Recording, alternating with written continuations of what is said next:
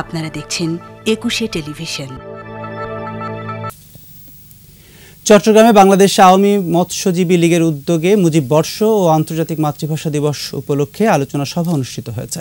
সকালে চট্টগ্রামের ফিরিঙ্গি বাজার এলাকায় এ সভা অনুষ্ঠিত হয়। এ সময় বক্তারা বলেন, প্রধানমন্ত্রীর হাতকে শক্তিশালী করতে বাংলাদেশ আওয়ামী মৎস্যজীবী লীগ কাজ করছে। সভায় অন্যান্যের মধ্যে উপস্থিত ছিলেন বাংলাদেশ আওয়ামী মৎস্যজীবী লীগ, চট্টগ্রাম মহানগরের আহ্বায়ক আমিনুল ইসলাম সহ অন্যান্যরা। সেই স্বপ্ন বাস্তবায়ন।